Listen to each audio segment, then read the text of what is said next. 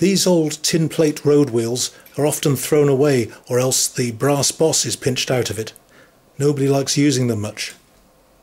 But they can be used for something else.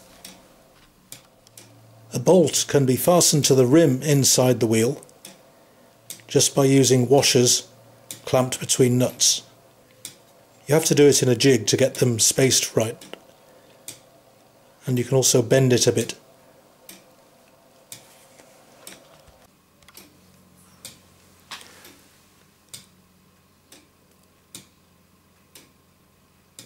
This is my second attempt at building a Meccano clock using 20 Meccano parts, not counting nuts, bolts, washers or spring clips.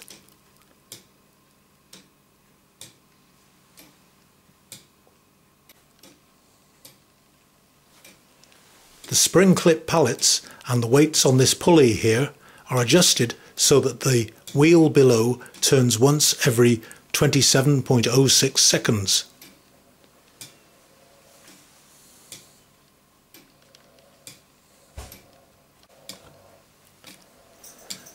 This escapement wheel has got 11 3 quarter inch bolts fitted around the rim.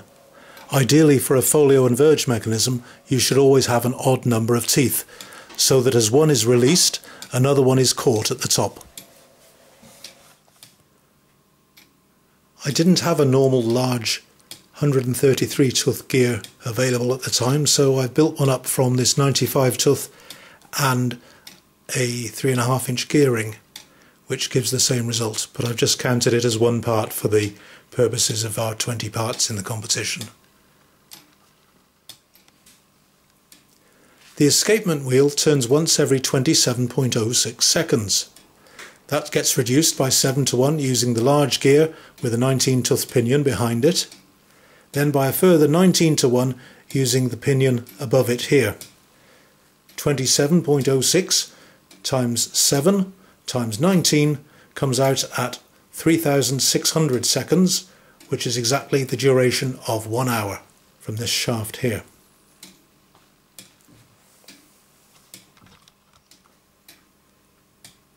The minute hand is a long bolt attached by a series of spring clips and nuts and bolts which aren't counted in the parts allowance.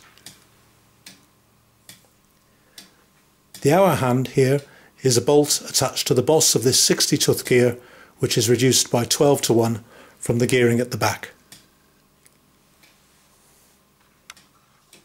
A low friction needle bearing is made using a special bolt from the Elektrikit set.